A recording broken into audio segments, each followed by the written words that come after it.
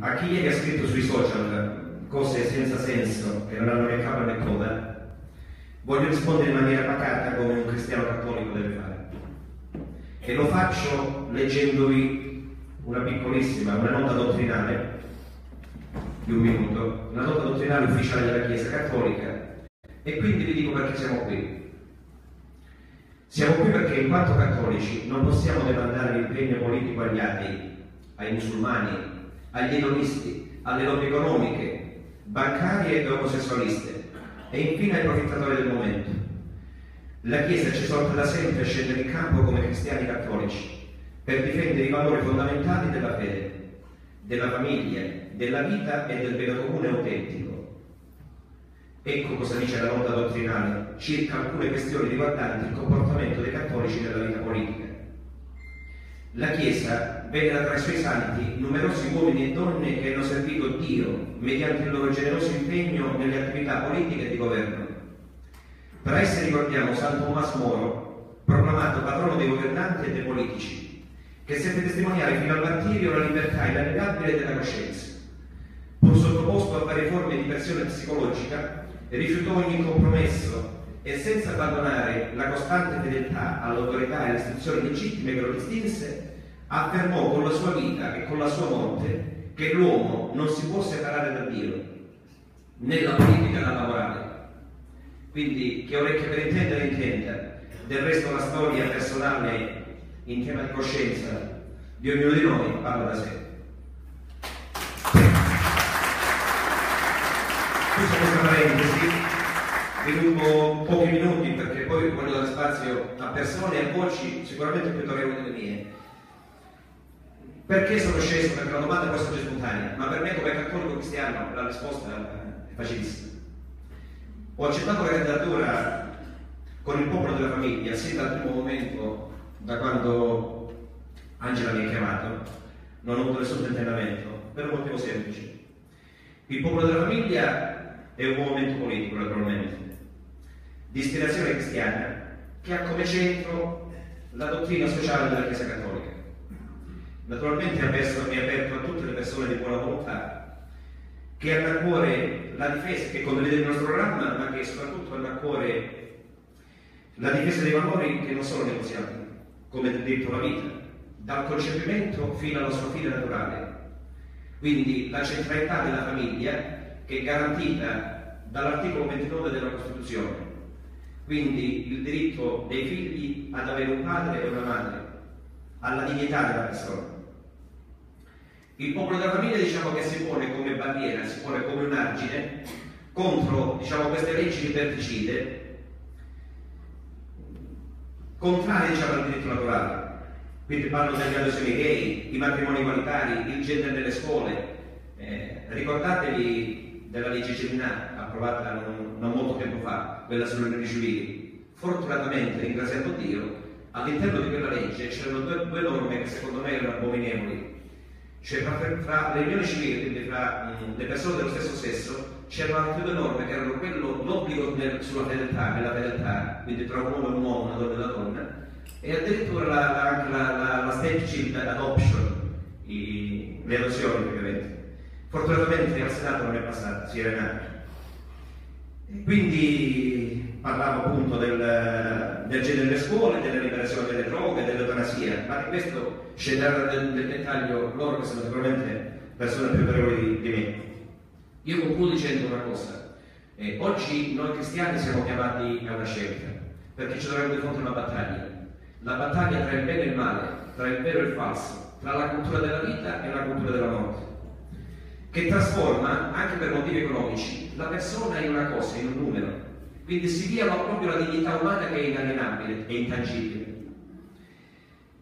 Quindi bisogna, secondo noi, puntare sulla famiglia, puntare sui figli. E puntare sulla famiglia e puntare sui figli significa creare lavoro, ricchezza. Quindi voglio chiudere con, con un concetto espresso dal cardinale Angelo Comastri in occasione tre anni fa della 38esima assemblea annuale del rinnovamento dello spirito a Roma allo Stadio Olimpico. Lui quel giorno disse, capite perché difendiamo la famiglia, capite perché la Chiesa difende la famiglia. La famiglia non l'abbiamo inventata noi, l'ha inventata Dio. E chi può mettersi al posto di Dio? Chi può capire più di Dio? E poi ci ha ricordato una confidenza che gli aveva fatto il cardinale Francis George, arcivescovo di Chicago, il quale gli ha detto, io penso di morire nel mio letto, ma ho paura che il mio successore morirà in galera e il su- successore ancora morirà fucilato. Alla domanda del cardinale Comastri, eminenza perché? Lo sa perché? Perché difendiamo la famiglia. Perché diciamo che la famiglia è formata da un uomo e una donna e una vita deve nascere da un padre e da una madre. Saremo perseguitati per questo. Queste sono delle cose che a me mi sono rimaste in mente e che conservo ancora nel, nella mia coscienza, nel mio cuore. Quindi chiudo veramente con una frase di Don Bosco, che un giorno disse rivolto ai suoi giovani, non dovete avere paura, il Signore è con noi. E se Dio è con noi siamo la maggioranza. Quindi di questo spirito, di questo spirito, animati da questo spirito, da questa frase di Don Bosco, un augurio che vi faccio, che vi faccio è che il prossimo 4 marzo alle elezioni politiche il popolo della famiglia ottenga un buon risultato. Per avere la possibilità di mandare al governo qualche nostro rappresentante che appunto difenda ad ogni costo, a qualsiasi costo, questi principi, questi valori che non sono negoziabili. Quindi questo è l'augurio che faccio, eh, vi ringrazio per la vostra cortese attenzione e passo la parola ad Orazio Fedele, dottor Orazio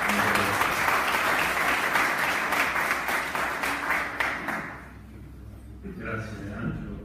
Buonasera a tutti, io sono Orazio Filippelli, sono un medico, vivo nella provincia di Reggio Calabria e anch'io come Angelo e come Angela Cipolle siamo candidati in Calabria, ci abbiamo messo la faccia come si dice. Eh, diciamo che è stata una decisione un po' pensata all'inizio, Mario mi ha tirato in ballo in diretta Facebook ora si Filippelli candidato in Calabria, ok? Sicché dopo quattro anni che lo seguivo ho detto va bene, ci metto la faccia anch'io perché è giusto pure fare la propria parte. E allora, come loro, indegnamente sono, ho deciso di, finalmente si dice scendere in campo, io dico di salire in campo, no? perché qualcuno ha detto che la politica è una delle più alte forme di carità e quindi anch'io voglio prestare il mio servizio a fianco a loro, a fianco ai miei battaglia, a fianco al nostro segretario, a fianco a Maria Di Nomi che sarà presto non era qualche giorno, 17 se non sbaglio.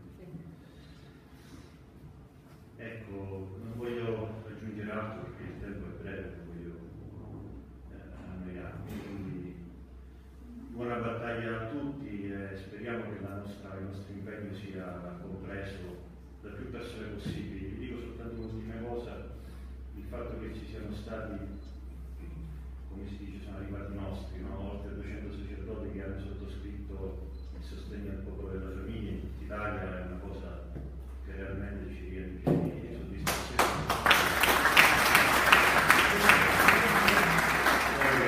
Fede sia ancora tenuto aperto fino all'ultimo giorno. Eh, sono due volte coraggiosi i sacerdoti che hanno fatto questo, perché sono coraggiosi perché hanno seguito Gesù nella loro vita e poi perché stanno appoggiando un popolo che è il popolo della famiglia, per appunto, che non è, scusate se è un popolo, ma è una realtà che non spunta da nulla come si usa dire in politica, sono spuntati da nulla, no, noi non spuntiamo da nulla, spuntiamo da un popolo che esiste, che cammina realmente per le strade, che vive, che lavora ogni giorno, che è nel quotidiano e che deve fare la sua parte. Abbiamo avuto la piazza due volte, adesso è un nostro dovere fare la nostra parte in politica, perché la politica non è un ambiente astratto, è un ambiente reale dove tutti i cittadini devono fare la loro parte. E noi siamo qui per questo. Grazie.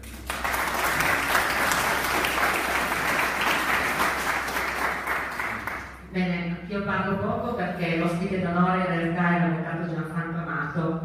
Vi racconto semplicemente la mia esperienza. Ho avuto la fortuna di conoscere il movimento proprio il primo giorno, l'11 marzo 2016 a Roma, quando durante l'assemblea costituente è stato proprio affrontato. Quel giorno ho conosciuto il presidente Mario Dinolfi, segretario nazionale, l'avvocato Gianfranco Amato, e mi sono subito innamorata eh, di quello che è stato detto in quel contesto, perché si parlava di un nuovo modo di fare politica, mettendo al centro la persona e seguendo gli insegnamenti di Dio. Questa è stata proprio la spinta propulsiva che mi ha fatto capire che avevo trovato un, un nuovo motivo per impegnarmi nel sociale. Fino a quel momento sono stata presidente del centro aiuto alla vita per nove anni e ho aiutato insieme a mio marito tantissime donne a dire no all'aborto, perché per me è sempre stato fondamentale la difesa della vita. L'ho vissuto in prima persona quando ho dovuto scegliere tra dire sì o dire no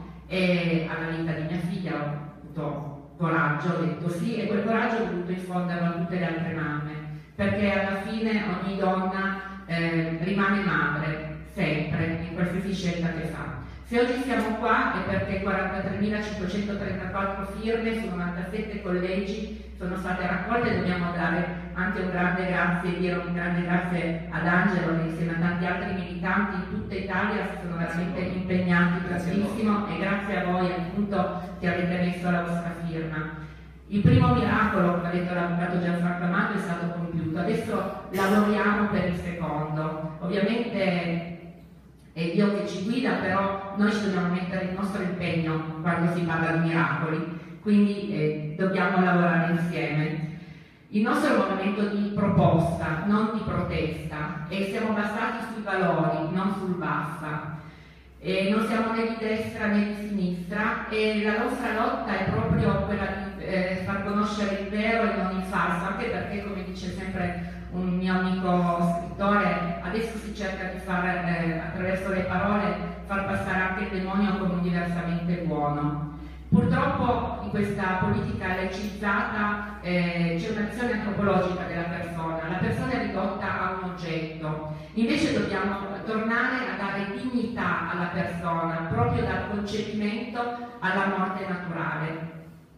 Le prossime già abbiamo visto nella passata legislatura le leggi veramente mortifere, dal DDL Cilinà che vorrebbe comparare le unioni, le unioni, civili al matrimonio naturale, ma questo non potrà mai avvenire per il semplice motivo che la famiglia fondata sul matrimonio proprio tra l'uomo e una donna è proprio solo l'unica forma di famiglia che può procreare, quindi è lì il fondamento e il motivo per cui deve nascere una famiglia e difendere la vita dal concepimento alla morte naturale, adesso che ci hanno fatto capire attraverso le leggi che è una cosa normale, no, non è normale perché rimane un omicidio. Grazie all'aborto, la legge 194, ben 5 milioni di italiani marcano all'appello, quei 5 milioni che ora i politici che non sono del popolo della famiglia vorrebbero integrare con 5 milioni di persone che non fanno parte della nostra cultura. Ecco.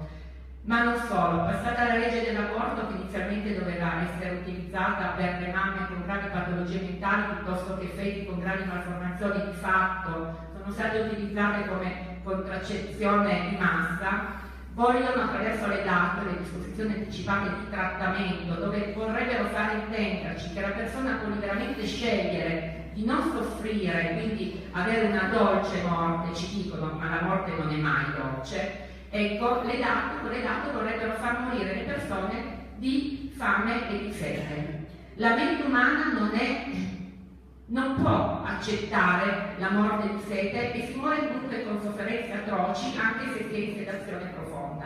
Quindi è un'altra menzogna che ci viene detta per portarci all'eutanasia. Ma se noi diamo allo Stato la possibilità di scegliere se ucciderci o meno, va da sé che lo Stato, che non, ha, non ama le persone come la famiglia, di fatto, eh, farà solamente un calcolo di costo-beneficio. Noi saremo un costo, nel momento in cui saremo malati terminali, piuttosto che malati cronici, piuttosto che non potranno pagarci le pensioni, ecco, daremo in mano allo Stato un'arma con cui ucciderci legalmente. Quindi non è motivo di modernità, di aprire nuovi orizzonti, ma è proprio un motivo di eh, orrore dal mio punto di vista. Ma non solo, la, la passata appunto, legislazione abbiamo visto come ci sono state quelle, queste leggi mortifere di DLCNA, biotestamento, ma le prossime leggi saranno il matrimonio egualitario, l'incesto, la pedofilia, la prostituzione. Abbiamo già avuto in Germania l'esperienza di dieci anni di legalizzazione di prostituzione dove non si è fatto altro che aumentare la perversione. Quindi non è anche quello un canale giusto di, eh, di migliorare le nostre vite. Noi come popolo della famiglia stiamo sulla linea di invece recuperare le nuove schiave, quelle della prostituzione, come ci ha insegnato Don Benzi, attraverso eh, l'associazione Papa eh, Giovanni XXIII. Comunque adesso voglio passare invece la, la parola all'avvocato Gianfranco Amato e vi chiediamo di far conoscere il movimento, il popolo della famiglia, farlo votare con croce sul simbolo il 4 marzo soprattutto le persone, quelle che non si riconoscono più, la maggioranza delle persone in Italia non si riconoscono più in nessuna eh, forma politica. Ecco, dobbiamo far sapere che è nato il movimento eh, della, del popolo della famiglia, perché la mia esperienza è quella che quando sentono le motivazioni per cui siamo nati, tutti gli uomini che sono la maggioranza di buon senso non potranno far altro che votarci.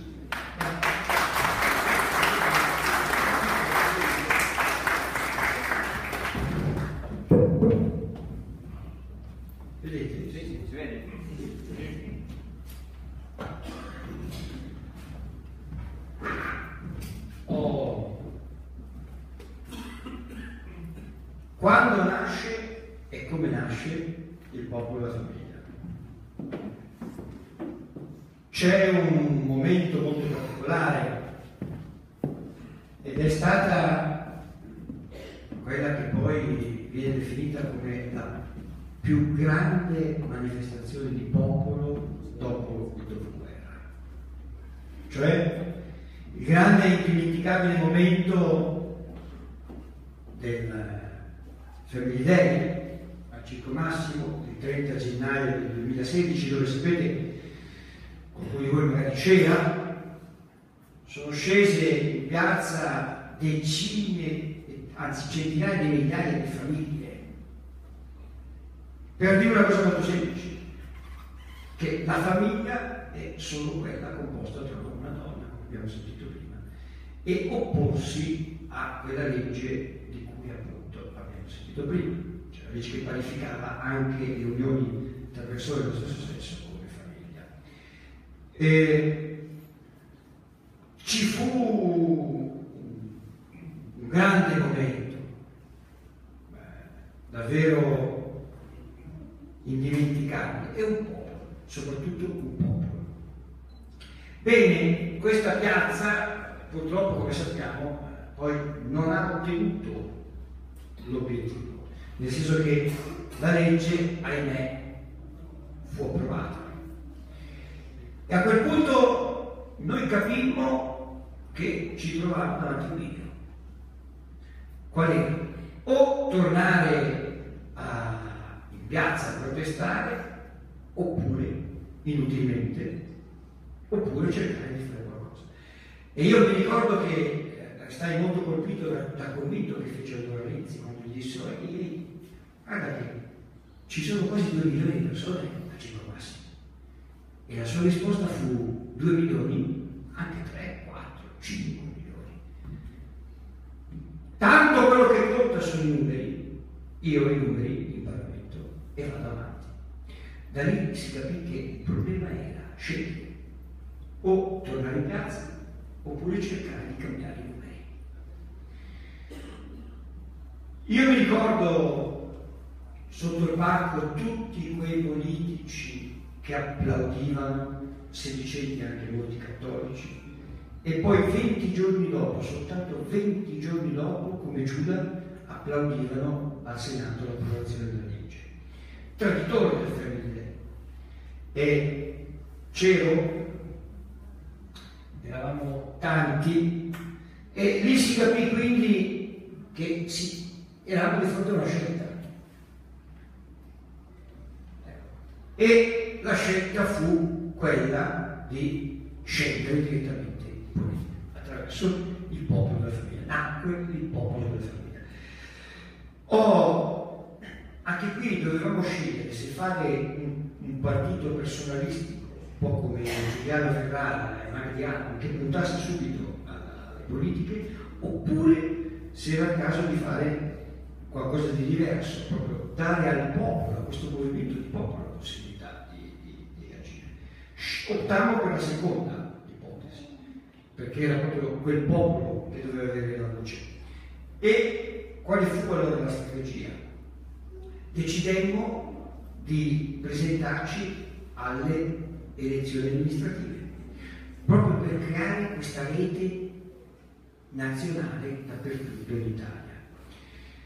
I, le prime elezioni amministrative erano già nel 2016, quindi fu davvero un'avventura incredibile perché eh, appena nati decidemmo di gettarci. Pensate, già dopo tre settimane dalla nascita di questo movimento riuscimmo a candidarci in tutti i capoluoghi di provincia in Italia. Primo miracolo in realtà.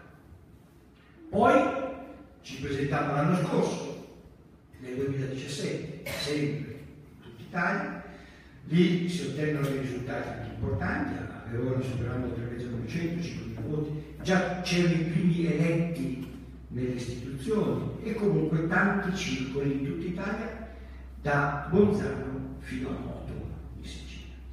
Ma questa rete stata, si è creata per il giorno che stiamo vivendo oggi, per arrivare adesso alle politiche. Perché vi dico qual era la situazione prima del cosiddetto Rosatello. Era quasi impossibile per noi.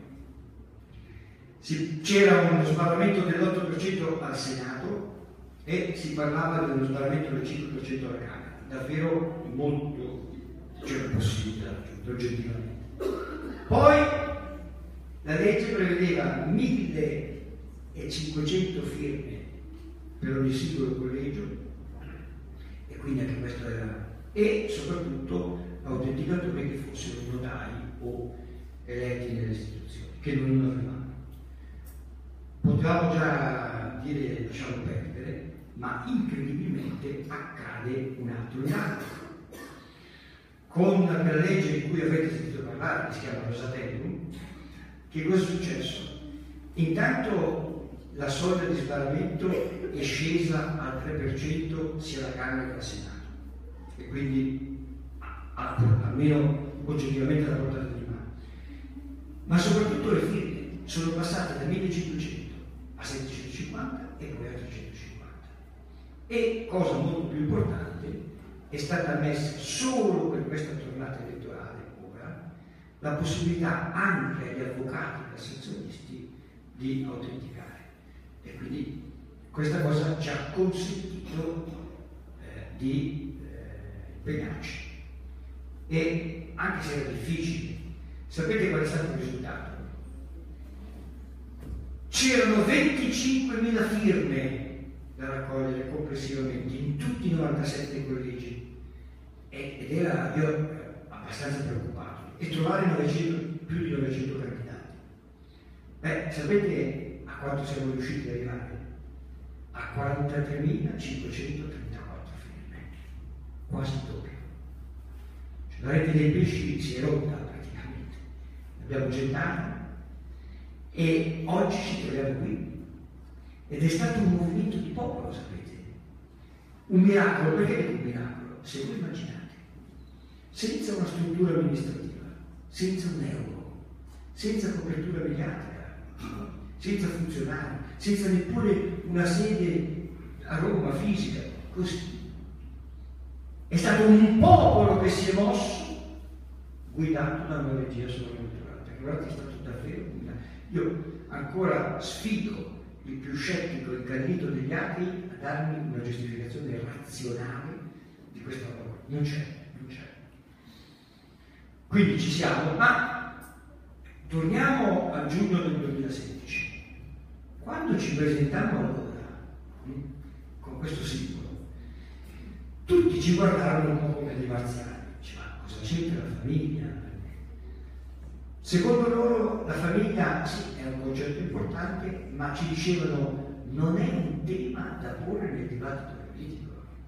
Cioè la gente è interessata al fisco, alla sanità, alla sicurezza, all'economia, al lavoro, Cosa c'entra la famiglia?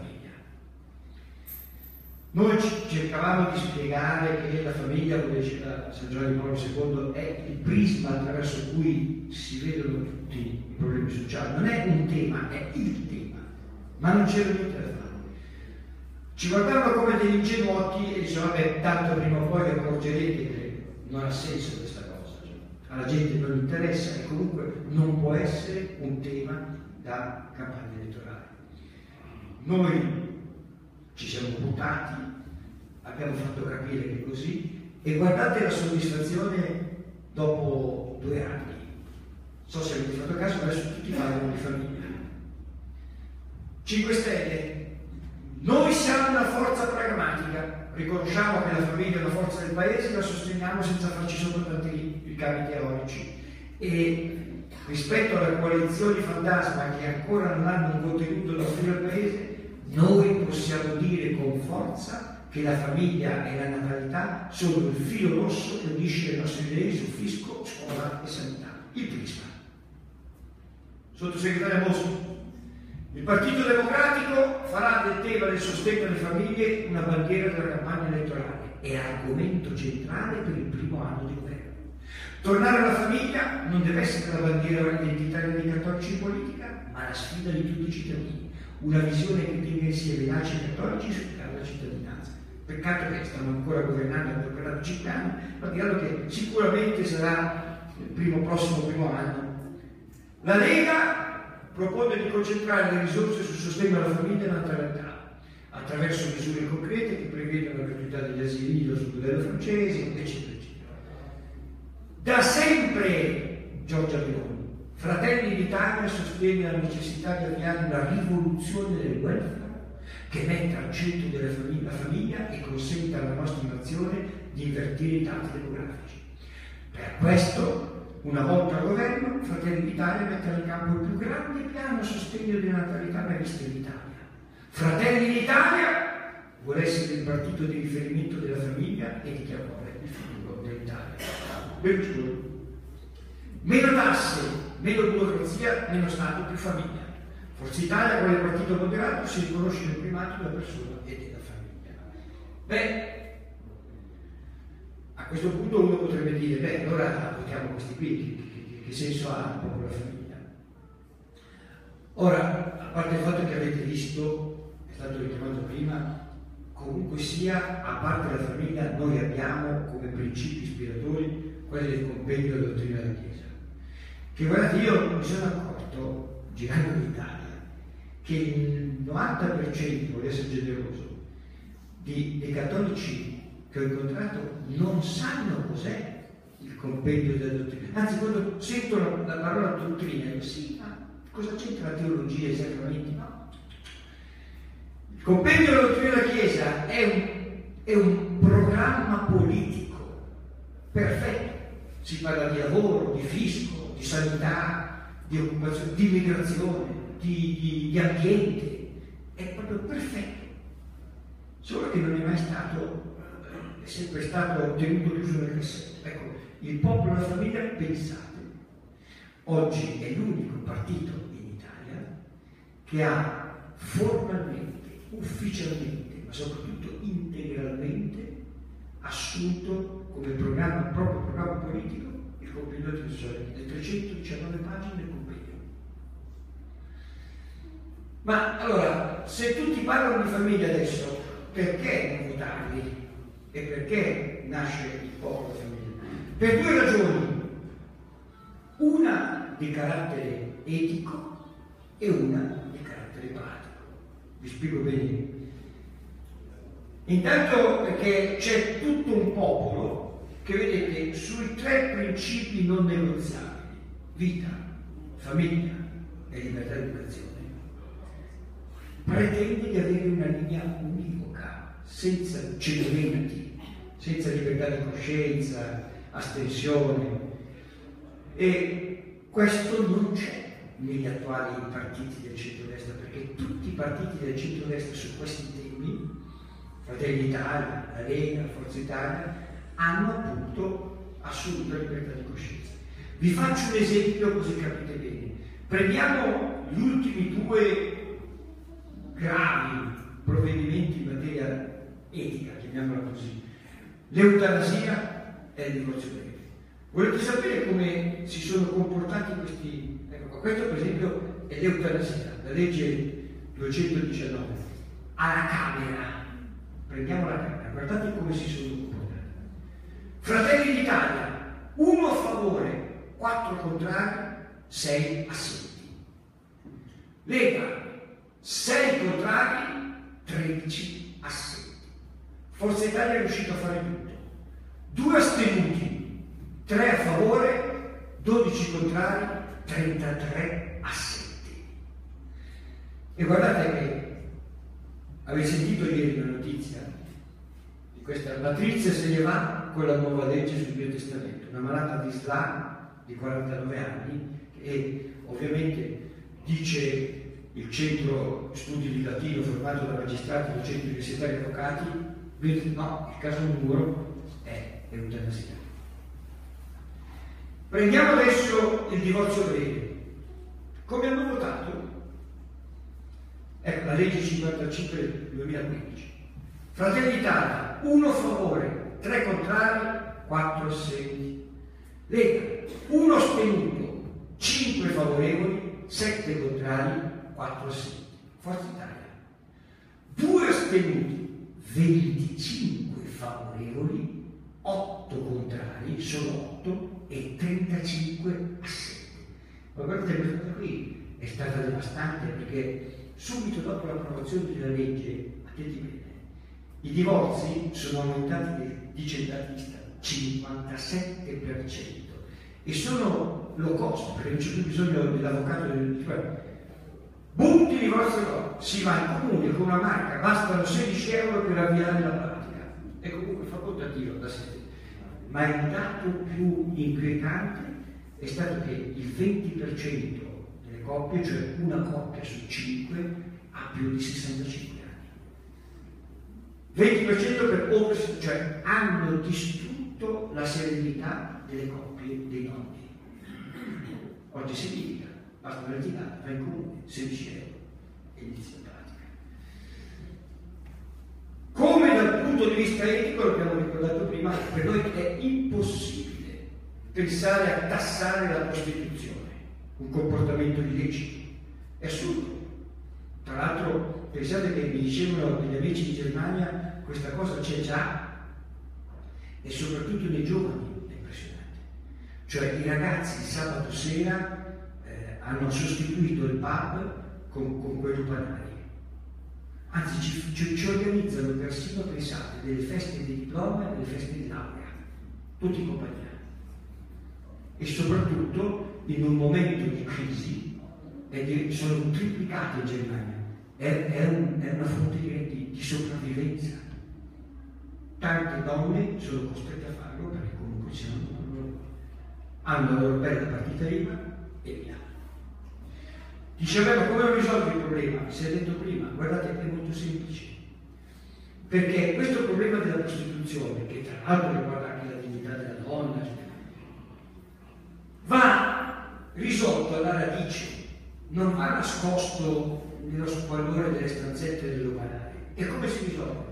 Semplice, se fossi pure il governo, domani mattina, con la, il, il programma di protezione dell'Associazione Comunità Giovanni Paolo, Giovanni, Papa Giovanni XXIII. E Don Benzi, che ha fondato questa cosa, là dove eh, l'associazione è, attiva, davvero c'è, ma problema sapete qual è? Basta mettere i soldi. Se noi fossimo al governo, l'associazione Papa Giovanni XXIII diventerebbe interlocutore privilegiato del governo con tanto fondi, sedi, strutture, basta, basta solo dare soldi. Dice, ma i soldi non ci sono. Eh, allora spiegatemi come si fanno a trovare dalla sera alla mattina 20 miliardi, 20 miliardi per salvare Monte Paschi e qualche banca amica del primo. Eh, se si trovano così, vuol dire che allora se può trovare qualcosina da risolvere il problema della Costituzione. Non è una questione di soldi, è una questione di volontà politica. Poi, ah, tra l'altro, pensate, nel centro-destra c'è anche un partito, tanto per stare in tema con la Lega, che ha candidato una come Giulia Bongiorno. Matteo Salvini, Giulia Bongiorno si candida come capolista nella Lega in diversi territori del paese. Ma voi sapete chi è Giulia Bongiorno? Chi lo sa? Lo sapete, a parte il fatto che è stata l'avvocatessa di Renderoti. E ve lo dico io chi è. Giulia Bongiorno è stata favorevole al disegno di legge Scalfarotto contro la cosiddetta omofobia. Quando fu bocciato un precedente tentativo di introdurre il reato di omofobia, lei parlò di arretratezza culturale dell'Italia, di scollamento tra politica e società e auspicò l'allineamento del governo all'Europa mediante legislazione di voto per anticritici. Ai tempi del referendum sulla legge 40 si pronunciò a favore dell'abrogazione e aderì all'Associazione Donne per sì a fianco di Emma Bonino. In un duetto con Emma Bonino a Radio Radicale il primo dicembre 2015 ha rivendicato la grande conquista delle donne ottenuta con il riconoscimento del sacrosanto diritto alla morte. Eternamente single, non si è mai fidanzata, a 44 anni ha deciso di fare un figlio, pare attraverso la fecondazione artificiale. Il padre anonimo ha dichiarato, lei, ho sempre desiderato tornare a casa e sentire solo il rumore dei miei passi. E questa è la famiglia che ho voluto. Una così, candidata capolista della Lega. Triste poi che qualcuno del femminile sia dietro di lei. Questo è lo dico con, con, con, il cuore che piace. Oh, poi c'è un problema eh, pratico, non soltanto etico. Siamo lontani come principi, ma dal punto di vista pratico. E vi faccio un altro esempio. Quando nel 2008, non so se ricordate, ci furono le elezioni e Berlusconi vinse il governo, tra l'altro con una maggioranza bella, solida e blindata, il centro-destra si presentò con un programma, si intitolava Sette missioni per il futuro dell'Italia. Una di queste missioni, la seconda, era, riguardava la famiglia, ma soprattutto riguardava l'introduzione del quoziente familiare. Sapete cos'è il quoziente familiare? È l'idea semplice, ve la banalizzo, per cui a parità di reddito un padre, padre di famiglia, che ha cinque figli a carico, non è giusto che paghi le stesse tasse di uno singolo che guadagna gli stessi soldi. Quando uscì questa cosa io dissi, beh, finalmente in Italia forse questa giustizia, anche per incentivare a fare figli, questa, questa cosa forse si apre. E io confesso votato convintamente questa cosa qua. Eh, ovviamente passò del tempo e il quoziente familiare non si fece. Poi qualcuno di voi ricorderà l'associazione, il forum delle associazioni familiari fece una petizione in tutta Italia, furono raccolte 1.071.348 firme, eccole qua. Famiglia Cristiana titolò, quelle firme pesano, sono l'ultimo appello alla politica, sono come un urlo conficcato nel cuore del palazzo per scongiurare l'oblio. Ma nonostante, pensate che mi ricordo che furono portate tutte a Quirinale, quei pullman, vedete, tutti gli scatoloni, eccoli qua, furono depositati davanti al Quirinale, tantissimi. Ma il governo non fece nulla. Gli scatoloni vennero presi e buttati nell'inceneritore. Allora io conoscevo uno dei tanti collaboratori del ministro Tremonti, che era quello che tagliava, e era un amico mio, disse scusa, ma come si fa a ignorare un milione di italiani? E lui mi rispose tranquillamente, cioè guarda che al governo il metodo che si utilizza è quello del mercato delle banche, cioè ognuno tira, tira dalla sua parte una coperta strettissima e allora che è successo? Che la Lega tirò per l'autonomia, Alleanza Nazionale tirò per gli statali, Forza Italia tirò per la defiscalizzazione delle imprese e lui mi disse questo amico, e quel milione di italiani erano orfanelli, non avevano una casa. Qui dentro non c'era nessuno che tirasse Ecco che allora si capito che noi dobbiamo fare questo. Cioè popolo della famiglia deve essere quella casa di quei milioni di italiani che possa costringere un governo di centrodestra a varare politiche per la vita, la famiglia e la libertà di educazione, ma soprattutto la famiglia. E consente. Tra l'altro in quel governo c'era anche Giorgia Meloni, non è che si sia mossa tantissimo. Quindi, che cosa deve fare il nostro famiglia? Deve essere proprio questo elemento di condizionamento di governo di centrodestra. Io guardate, faccio sempre l'esempio eh, di quello che ho vissuto in Cile un po' di tempo fa. Io ormai giro il mondo, sono andato in Cile, pensate un po', e non sapevo niente della situazione politica, non sapevo neanche chi si votava. E ho scoperto, ho incontrato un uomo, José Antonio Cast, senatore, cattolico, uno sposato, nove figli, appartiene all'esperienza del movimento mariano Schoenstatt, uno bravissimo, e lui mi ha raccontato un po' la situazione. Che cosa accade in Cile?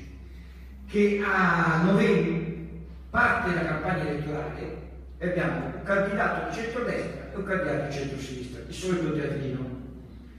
Il candidato di centrodestra è un miliardario più ricco di Berlusconi, quasi il livello di Trump, che però è molto libero, è di destra, tra virgolette, però eh, può discutere sulle nozze gay, cioè, vediamo, insomma.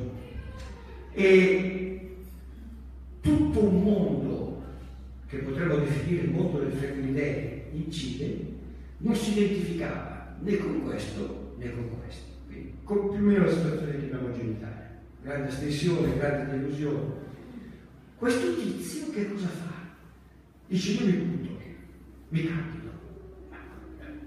Lì si andava a due turni. Eh? Questo si candida tra le risa di tutti perché appena annuncia di essere candidato i sondaggi lo danno dallo 0,5 all'1% al sesto posto. Ridicolo, insignificante. Lui dice non importa, io vado avanti perché sento che c'è un popolo deluso che vuole fare qualcosa. Questo accadeva verso giugno, luglio.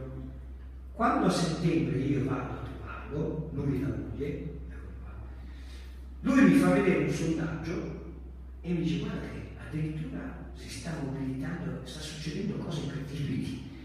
I sondaggi, quelli riservati, mi danno intorno al 4-5%, è incredibile. A novembre ci sono le elezioni del primo turno. E sapete a quanto è arrivato questo qui? All'8%. 7,9%. Cioè la campagna ha, ha, fatto mobilitare questo popolo che si... e che cosa è successo? Attenti, questo serve a noi, eh? che ovviamente i due candidati non sono andati, a, nessuno dei due ha vinto, e il candidato di centrodestra è dovuto per forza andare da lui a chiedere l'appoggio, lui l'appoggio l'ha dato in cambio della, del rispetto di questi principi. E infatti la notizia più bella è stata che Piniera vince le elezioni cilene grazie ai voti del Provita Cast. Infatti lui è riuscito a eleggere, è arrivato al 54%, gli serviva proprio quell'8% per vincere. E allora lui mi ha detto, io voglio essere il chiodo impiantato nella coda del serpente del centro-destra. Perché allora solo così, condizionandolo, sono certo che questi non sballeranno sui principi non negoziati. Ecco, è esattamente quello che dobbiamo fare noi, esattamente quello che vuole essere il popolo della famiglia. E sapete, la situazione, siccome non ci saranno grandi colpi di scena, eh, la situazione che noi avremo dopo il 4 marzo già segnato, è quella che ha fatto vedere molto bene la MG Acqua, che è la, la, l'agenzia demoscopica di vent'anni, di TG 7. Elezioni centrodestra di una decina di seggi della maggioranza assoluta. È così. Il centrodestra è al 37,6%, praticamente gli mancano 16, dai 16 ai 20 deputati per raggiungere la maggioranza. E sapete a cosa corrispondono questi 16? Esattamente al 3% che avrebbe il popolo famiglia. Se noi superassimo il 3%, saremmo questi 16 deputati da 300 a 316 che mancano al centro-destra. Quindi cosa vuol dire? Che il centro-destra diventerebbe maggioranza, ma condizionato sull'esistenza della, della propria famiglia. E allora forse per la prima volta dopo 70 anni potremmo avere anche il quoziente familiare in Italia. Forse, forse. Questa è la grande scommessa. E guardate, non è vero, come dicono, che il povera famiglia toglie voti al centro-destra. È una bugia. Perché anche dal punto di vista la situazione è questa, guardate. Indecisi 14,2%, scheda bianca 2,4%, astenuti 33,8%. Sapete quanto fanno il totale di quelli? 50,4%, cioè più della metà degli italiani ormai totalmente delusi non sa cosa votare, o ha deciso di non votare, o ha deciso che voterà scheda bianca. E lì sono questi che noi stiamo attraendo, dando una speranza e una prospettiva del futuro.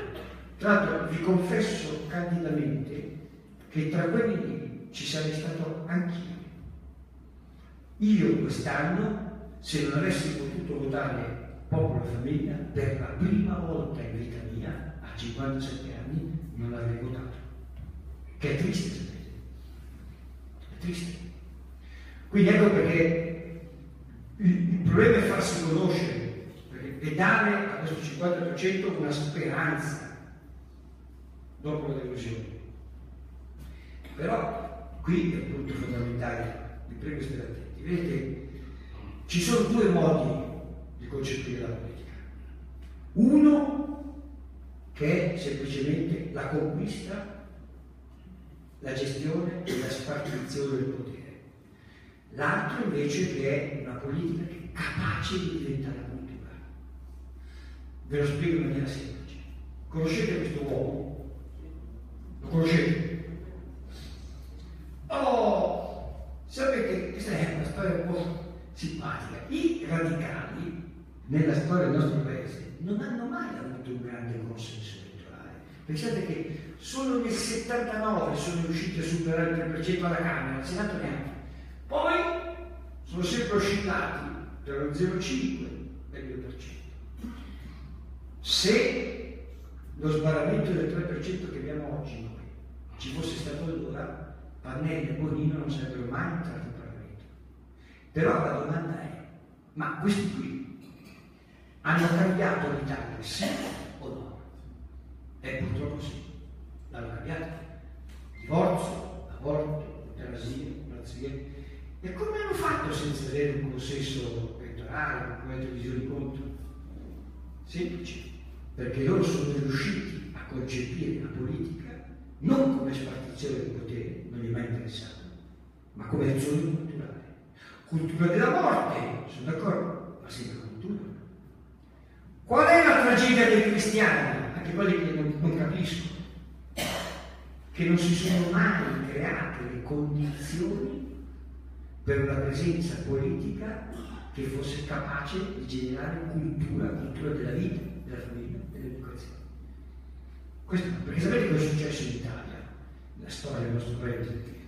Che i comunisti del Partito Comunista hanno puntato sulla rivoluzione sociale e hanno perso.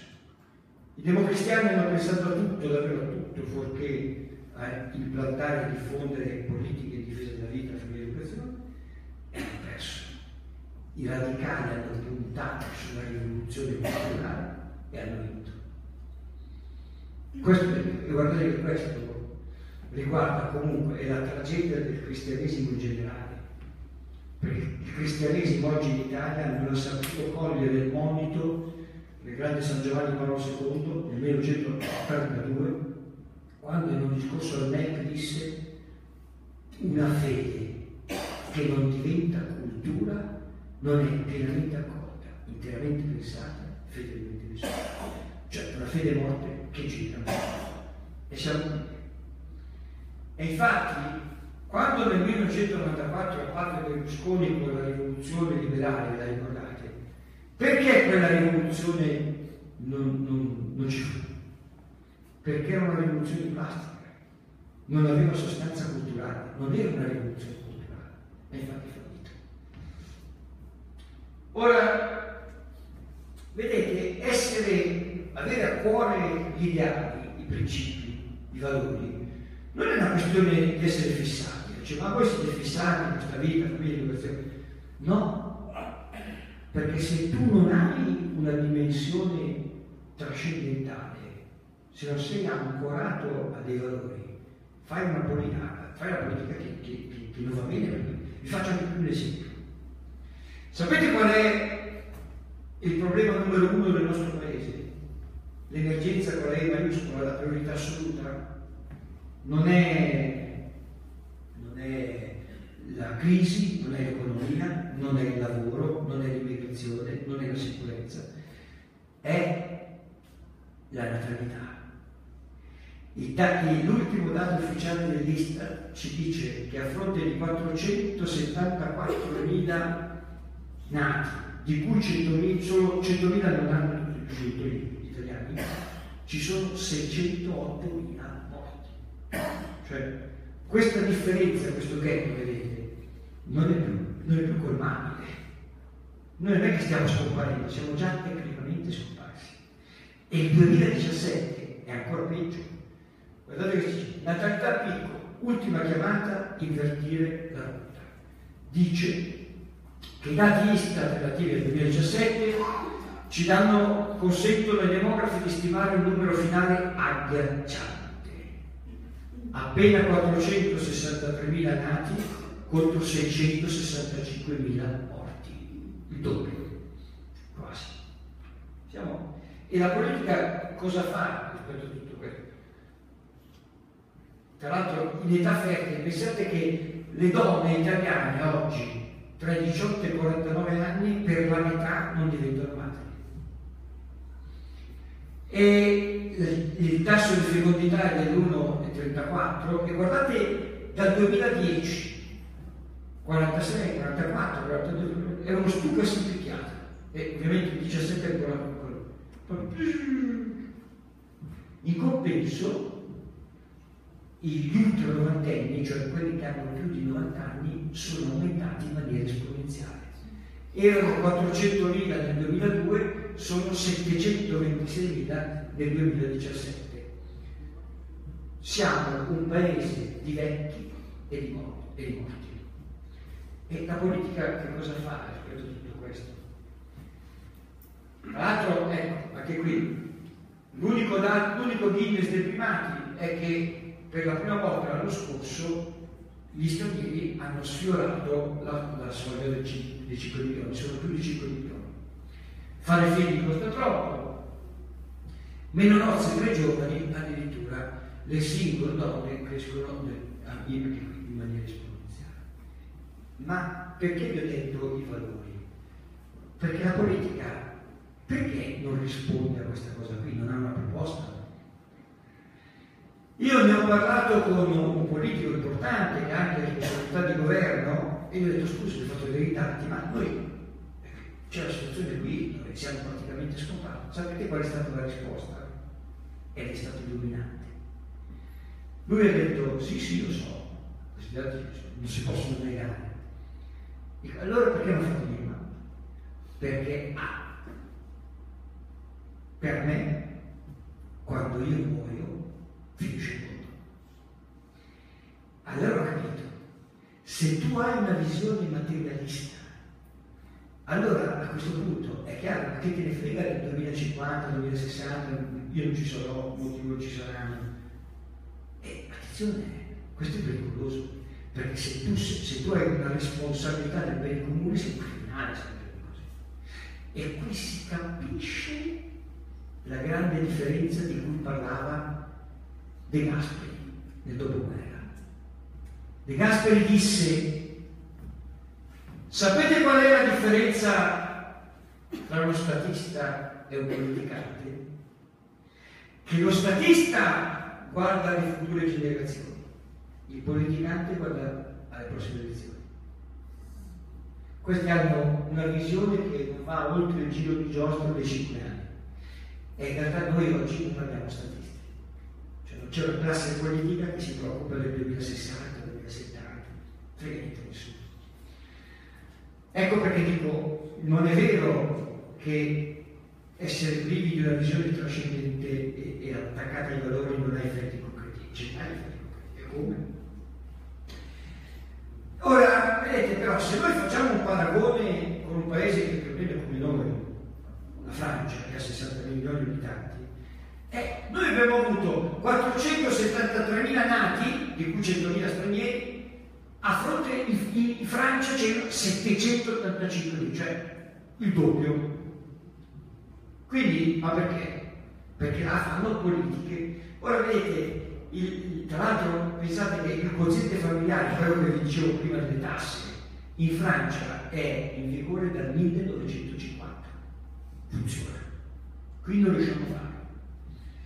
E il problema non è il programma, non sono le ricette, non c'è da inventare niente. Questo problema si risolve semplicemente prendendo il modello francese e applicandolo in Italia. È un problema di volontà politica, non è un problema di, di cosa fare. C'è già la soluzione. Tra l'altro, anche sull'altro tema caldo c'è la soluzione, te la do. Parliamo dell'immigrazione. Ma voi vi siete mai chiesti perché la Spagna, la Spagna che è molto più vicina all'Africa dell'Italia, anzi addirittura ha delle enclave in Italia, in, in Africa, Ceuta e Melilla, perché non ha il problema che abbiamo noi? Perché quando nel 2006 furono invasi da 30.000 immigrati, eh, gli spagnoli, ah, dice basta. Che cosa fecero? Due cose. Primo, fecero accordi bilaterali con questi paesi di provenienza in cui sono sentiti, noi vi diamo, costruiamo città, vi lavoro, occupazione, investiamo, ma dall'altra parte fecero il SIDE, il sistema integrato di vicinanza esteriore, cioè esterna. È un sistema che funziona così, Le, attraverso delle postazioni messe lungo la costa, collegate con i, i, radar degli aerei che passano, i satelliti, i radar delle navi, c'è tutto un congegno integrato, per cui praticamente la Spagna è diventata una fortezza impenetrabile e soprattutto tutto ciò ha avuto un effetto deterrente, non ci vanno neanche.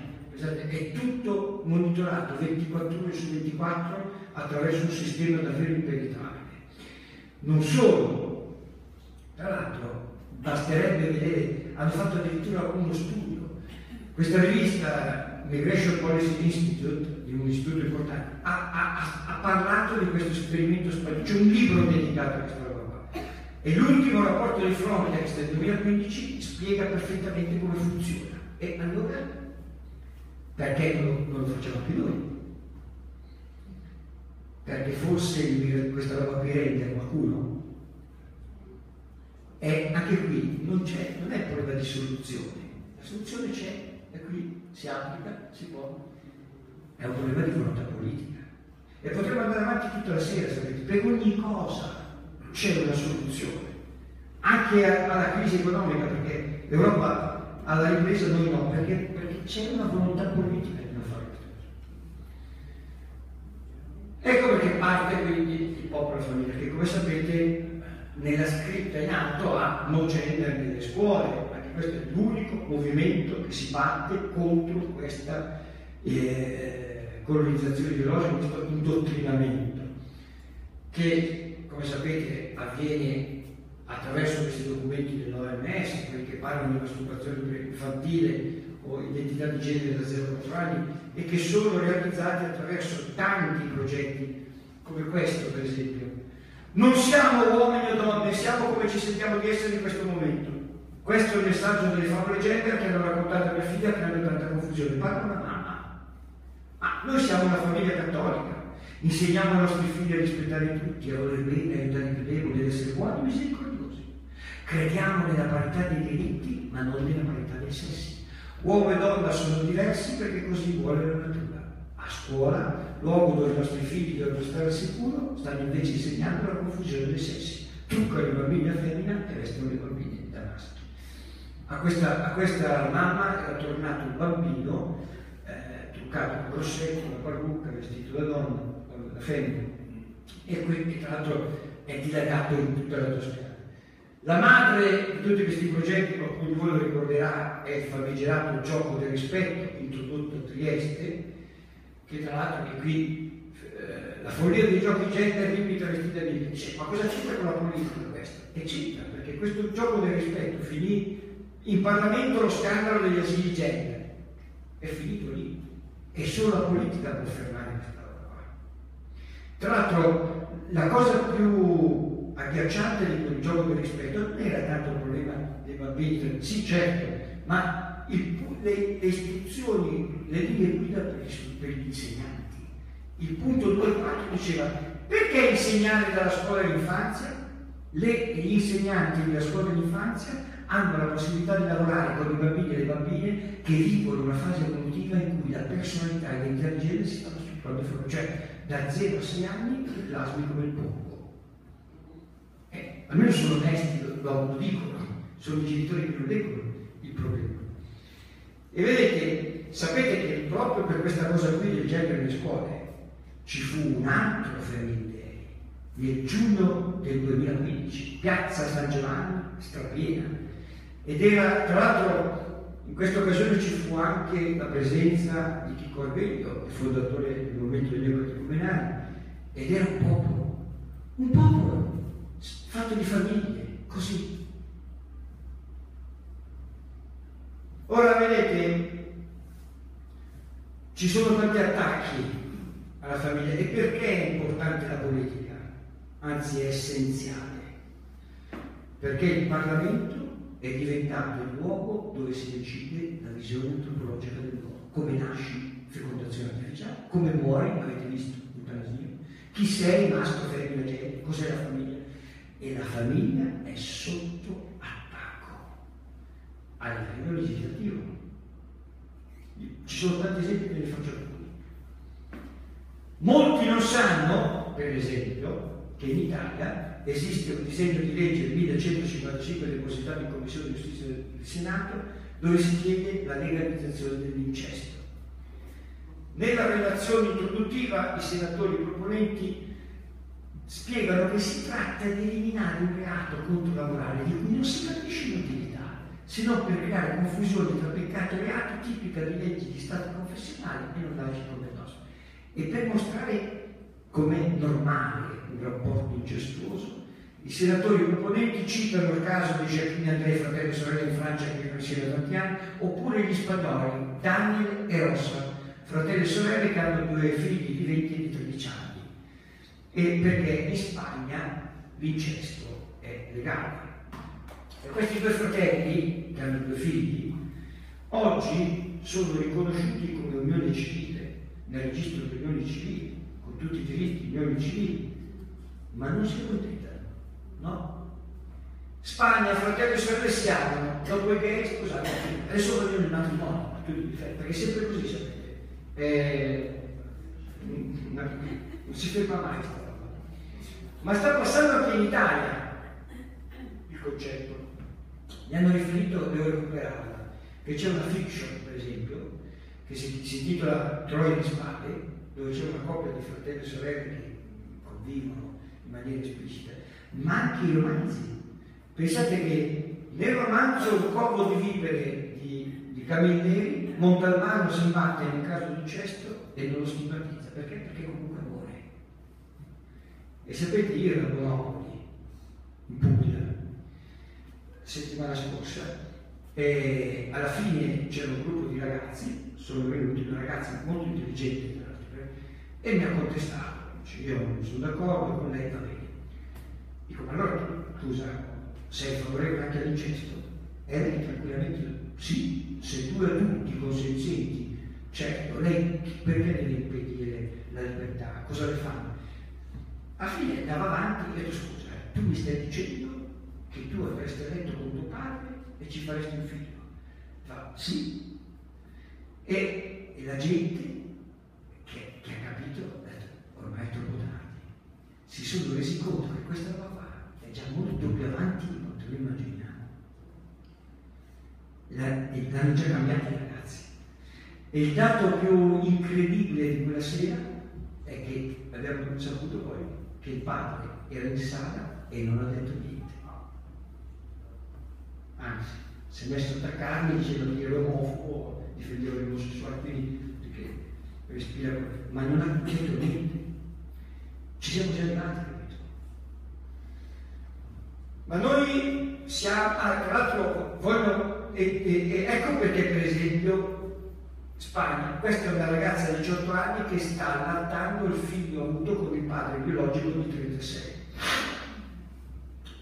A noi farà brividire per, per, per, i nostri ragazzi, alcuni già, già è, è, giusto.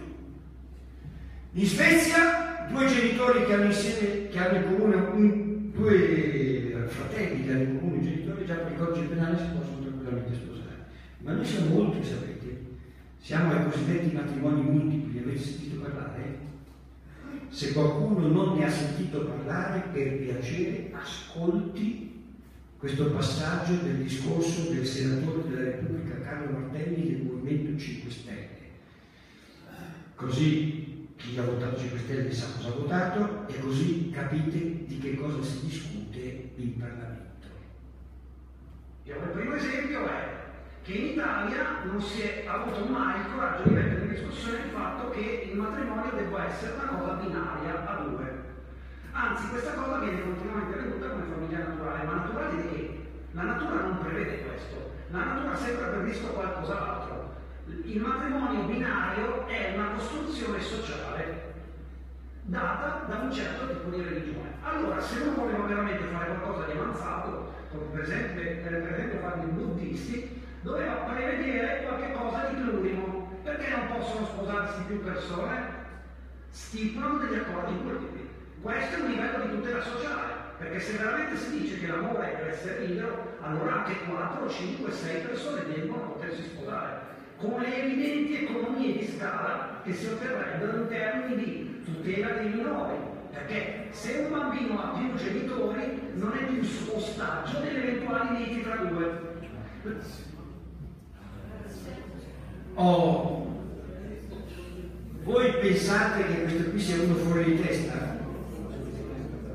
Allora, premesso che è un docente universitario, insegna matematica al Politecnico ed è uno dei più bravi matematici che in Italia. Ma poi a me piace la vostra reazione istintiva. Sapete perché mi piace? Perché ha ragione lui. Eh sì, perché se tu metti in discussione il concetto di famiglia come società naturale tra l'uomo e la donna, se l'unica cosa che conta è il sentimento e se decide il Parlamento, lo Stato, la maggioranza, cos'è famiglia, scusate, perché due? Dove sta scritto? Adamo ed Eva, la Bibbia? Ma Dio non esiste per il Parlamento, per lo Stato laico. Se l'unica cosa che conta è il sentimento e se decide lo Stato, a maggioranza, cos'è famiglia, perché, per esempio, cinque donne, reciprocamente unite da un vincolo affettivo, innamorate tra di loro, non possono sposarsi e fare famiglia se lo Stato, se il Parlamento, la politica, la maggioranza decide che è la famiglia. Si tratterà semmai di trovare un materasso sufficientemente ampio per tutte e cinque, ma è un problema personale. E guardate, non è uno scherzo. Se l'unica cosa che conta è il sentimento, e decide lo Stato, allora può essere famiglia tutto quello che lo Stato decide essere famiglia. Ad esempio, che so, avete visto l'ultima pubblicità della centrale del di Brescia, che gioca sulla parola formato nello scatolone? La famiglia nuovo formato, col papà trans, non avevamo capito bene cos'era sta roba, l'abbiamo capito dopo, quando la prestigiosa rivista americana Time ha parlato di queste nuove famiglie americane. Eccolo qua. E l'articolo ci dice siamo giunti finalmente al punto in cui il Presidente degli Stati Uniti d'America può tranquillamente parlare di fluidità di genere. Noi abbiamo questo bambino con la mamma, con la barba, le braccia pelose che lo guardano. E, e sapete, stanno dilagando queste famiglie. Questo è un altro, barba, baffi all'acqua. Questo qui ha, ha vinto una causa, una battaglia legale contro lo Stato del Canada. Cioè è riuscito a far riconoscere allo Stato questo bambino come un bambino neonato con sesso indeterminato. Maschietto femminuccia, in Canada un neonato solo U. Ha rilasciato il documento ufficiale Stato del Canada che ha così accolto la richiesta di Cory Dotti, genitore transessuale del piccolo Serge. Mio figlio deciderà da solo il futuro del proprio sesso, non lo stabilirò io. Spetta a lui decidere come identificarsi. Non ho intenzione di precludere la scelta sulla base di un controllo dei genitali.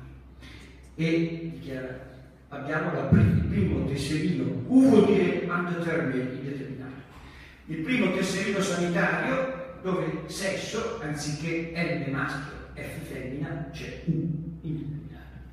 E ha dichiarato il genitore. Quando sono nato, i medici osservarono i miei genitali e avanzarono una presunzione sulla mia identità sessuale. E questa loro presunzione mi ha purtroppo accompagnato tutta la vita. Assegnare il sesso alla nascita rappresenta una violazione dei diritti umani del bambino. E l'avvocatessa che ha seguito il caso, Barbara Ferri, molto famosa, ha detto l'assegnazione del sesso nella nostra cultura avviene quando il medico alza le gambe del neonato e osserva i suoi genitali. Ma noi sappiamo che l'identità di genere neonato si svilupperà se non alcuni anni dopo la sua nascita. E guardate qui non stiamo parlando, attenti, di un bambino che si sente, tra virgolette, bambina in un corpo sbagliato. No, perché questo bambino qui non neanche parlare, noi non sappiamo cosa si sente. Ma quell'ideologia addirittura supera la biologia e anche quello che sente la gente. E sembra uno scherzo, sì, sembra uno scherzo, però attenti, perché questo è il riconoscimento pubblico, ufficiale, giuridico di uno Stato come lo Stato del Canada che non è proprio la Corea del Sud, del Nord, è uno stato serio. Ma questa roba sta arrivando da noi, arriva inevitabilmente, come faccio un altro esempio. Nel 2014 il Servizio Sanitario Nazionale Britannico ha definitivamente autorizzato l'uso di un farmaco, si chiama Conapeptide, è un bloccante ipotalamico usato anche nella cura del tumore alla prostata hanno autorizzato l'uso di questo farmaco per bloccare la pubertà dei bambini e dare più tempo per decidere se sono maschietti o femminucci. Questo è il farmaco, sapete come viene somministrato? Sono iniezioni messe nello stomaco, una puntura al mese nella pancia, che nei maschietti blocca la crescita del pelo capello della voce, nelle femminucce blocca lo sviluppo del seno e il ciclo mestruale. Perché fanno questa cosa qui? Per rendere meno invasivo l'eventuale futuro ipotetico intervento di cambio sesso che potrebbero fare dopo la maggiore età. In Inghilterra noi abbiamo già ragazzi di 17-18 anni in verbi con la voce da donna e ragazze di 17-18 anni senza seno e senza istruzione, degli androgeni. E i dati stanno dilagando, guardate i dati della BBC. Nel 2009 c'erano 94 casi, nel 2015-16 960 e salvo, salvo, salvo. Grazie ovviamente all'interesse cresciuto delle case farmaceutiche e delle cliniche che fanno queste cose qua. E sapete cosa abbiamo scoperto? Che in, in Inghilterra questa cosa dilaga anche perché è trendy, è di moda. È di moda avere il figlio come il figlio di Brad Pitt e Angelina Jolie che viene bombardato tutti i mesi fa chic. In Spagna tutto questo può essere fatto anche senza il consenso dei genitori. Dice la legge che il mancato consenso dei genitori può essere impugnato davanti all'autorità giudiziaria e il giudice con un provvedimento coattivo può, come i vaccini, può applicare questa roba qua. A voi sapevate? Sapevate? Dove? Dove? Rispondo. Eh? che paese?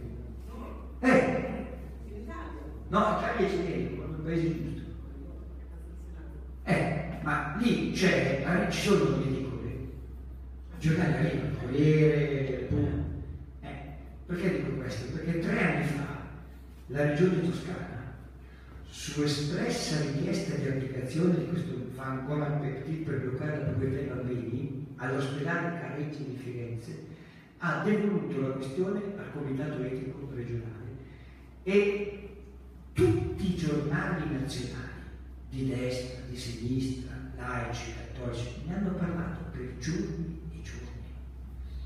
Corriere della Sera, avvenire, dalla Toscana all'ospedale Caneggi di Firenze della precisione arriva la notizia di un progetto clinico per bloccare la pubertà. Libero, Firenze shock, il fatto quotidiano, blocco pubertà, Repubblica, bimbi fa tempi, delirio di onnipotenza, l'ospedale Caneggi di Firenze. Voi ne eravate. Quando vi diranno nonno, ma tu dov'eri? Quando in Italia tutti i giornali parlavano di questa follia di bloccare, tu cos'è? Eh, noi vivevamo in campagna e non leggevamo i giornali. Ma una sera, a una conferenza, quando io ho fatto questa domanda e gli adulti cadevano così per luna, in fondo a sinistra c'era un gruppo di adolescenti, una quindicina, ragazzi, ragazzi. Questi qui alzano la mano e mi fanno, guardi che in America, oltre che allo stomaco, allo stomaco l'iniezione la fanno anche nella gamba e sapevano più cose, erano più informati di me. Ho detto, ragazzi, voi come fate a sapere queste cose? E tra le tante cose mi hanno detto che c'era una trasmissione che io non conoscevo, Real Time, che parlava di questo. Me la sono, sono andato a cercarmela. Adesso vi proietto uno spezzone di un documentario in cui si vede una mamma che fa queste iniezioni a un bambino, un bambino sembra femmina, ma è maschio, Ora voi ascolterete un doppiaggio in italiano, nell'originale inglese questo bambino che sembra una bambina ha mantenuto la voce da maschio, quindi è ancora più impressionante. Ma guardate già adesso.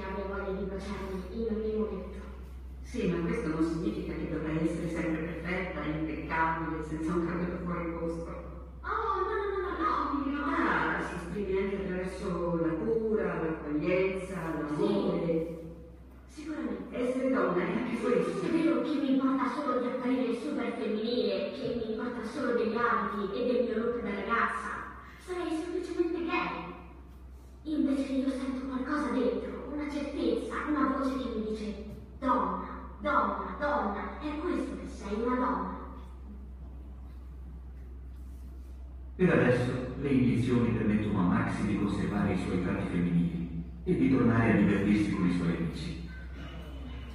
Durante il soggiorno al campo, i giovani transgender approfittano di ogni occasione per apparire più femminili possibile. No, a me non è una beneficenza, in Saria no. Tutti bambini, tutti bambini. E a voi ha impressionato questa, questa, quel video? Prova. Facciamo.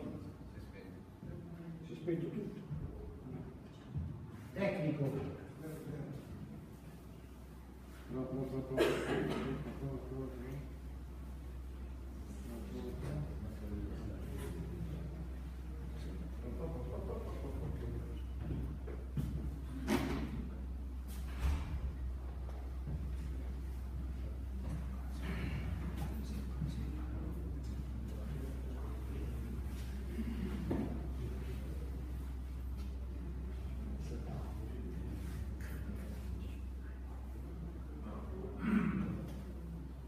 Le pile. Eh?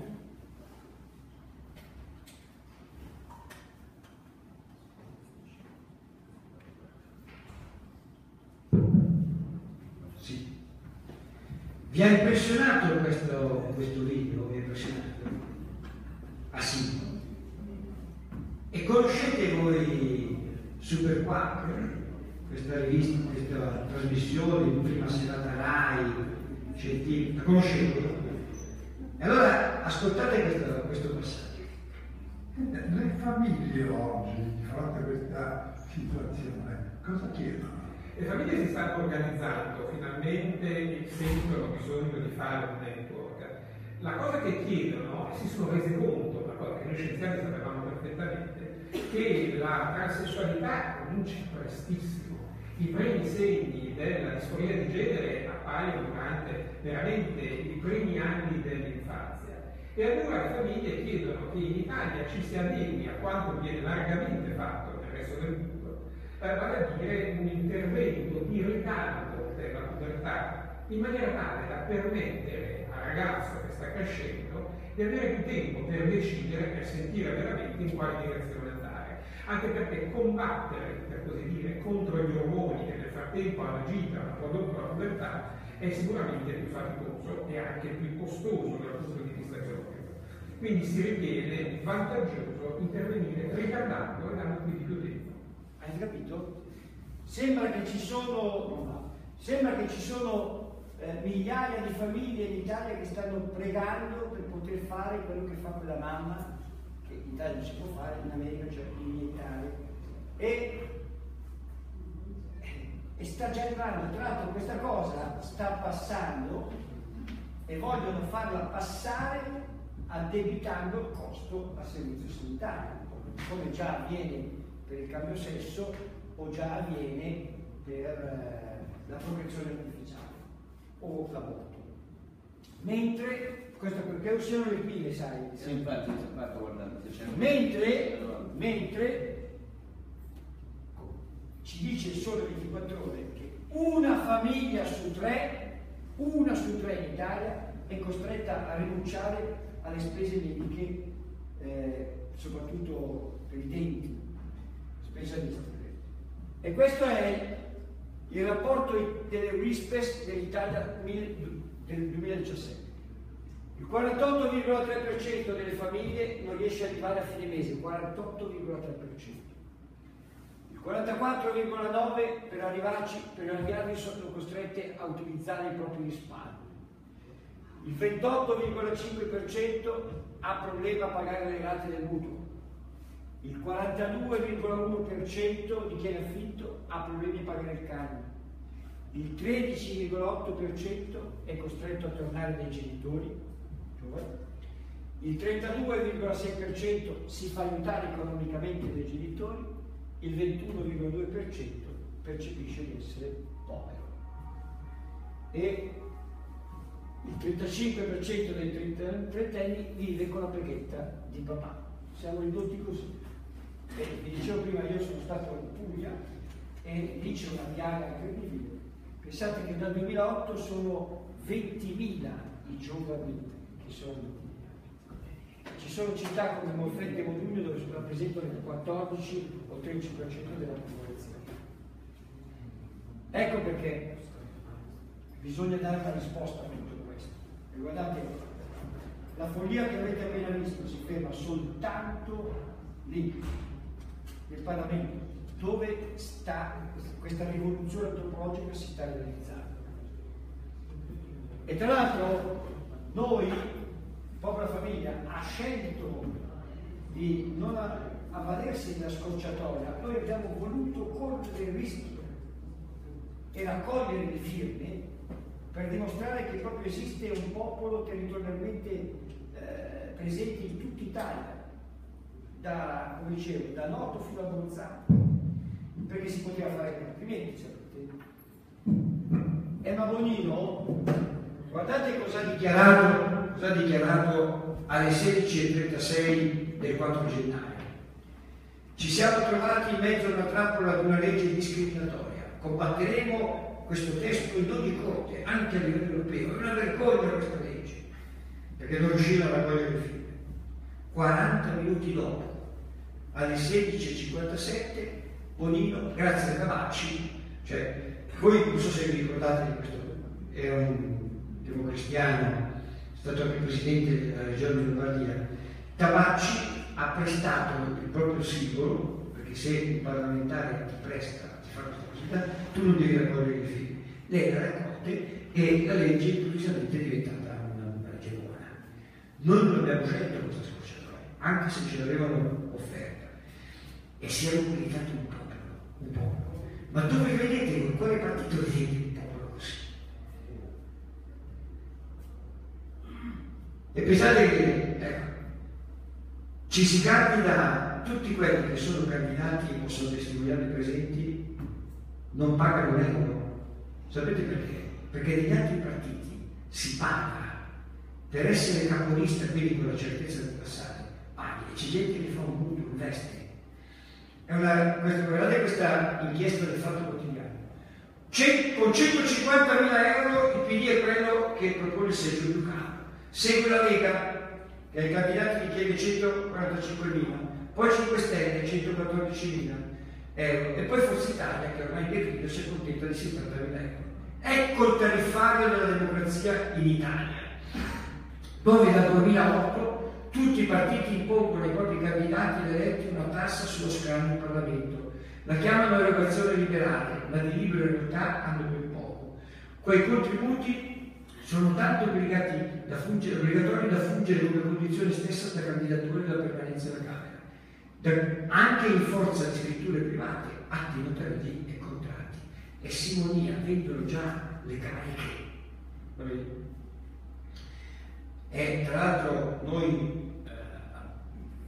ci siamo imbarcati in questa avventura senza sapere come va a finire, potrebbe davvero finire come in Cile. Eh. I primi sondaggi ancora prima che iniziasse la campagna, ci davano addirittura all'1,5%. IPR Marketing eh, e XE, che è la, l'agenzia demoscopica della RAI, davano una potenzialità del progetto prima ancora di partire. Ricordate quello in Cile, CAST aveva iniziato con lo 0,5-1%, è arrivato all'8%. Perché se un popolo si mobilita, allora davvero può accadere di tutto. E noi dobbiamo dare a questo popolo immenso, che era il cieco massimo, una speranza. Per chi volesse approfondire, oggi c'è, io in anteprima ho portato questo ultimissimo libro che approfondisce culturalmente anche tutto quello che abbiamo detto e dà delle indicazioni concrete riguardo al programma. E ma la cosa, la cosa più importante è che tutti noi dobbiamo sentirci mobilitati. Vedete, ognuno di noi conosce 10 persone, ha 10 persone che lo stimano, di cui si fidano, che si fidano di lui. Ecco, noi dovremmo riuscire a, a contattare queste persone considerando che poi ognuna di loro ha a sua volta altre 10 persone. Perché se non diamo questa prospettiva, questa possibilità, davvero è triste. Perché oggi viviamo un, una desolazione e un abbandono che ricorda un, verso del Corri della Rocca, un'opera di un, di un inglese, eh, Eliot, che dice così. In luoghi abbandonati noi costruiremo con mattoni nuovi. Vi sono mani e macchine, e argilla per nuovi mattoni, e calce per nuova calcina. Dove i mattoni sono caduti, costruiremo con pietra nuova. Dove le travi sono marcite, costruiremo con un nuovo legname. Dove parole non sono pronunciate, costruiremo con un nuovo linguaggio. C'è un lavoro comune, una casa per tutti e un impiego per ciascuno, ognuno il suo lavoro. Il popolo e famiglia è questa casa.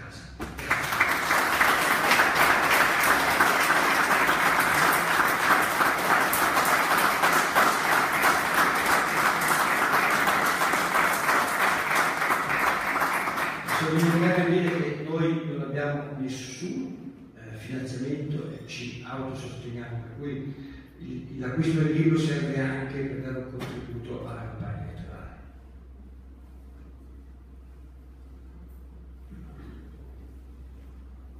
Salutiamo tutti. Sì, sì. Salutiamo tutti. Chi vuole un autografo? Ringrazio tutti voi per, per la presenza e per la pazienza naturalmente. Ringrazio Gianfranco Amato che ci ha squisitamente condotto questa, questa serata e ci ha insegnato molte cose, penso che ci ha insegnato molte cose. Sono cose che nessuno conosceva, quindi d'ora in poi cresceremo tutti un pochettino di più. Grazie Gianfranco, grazie a voi.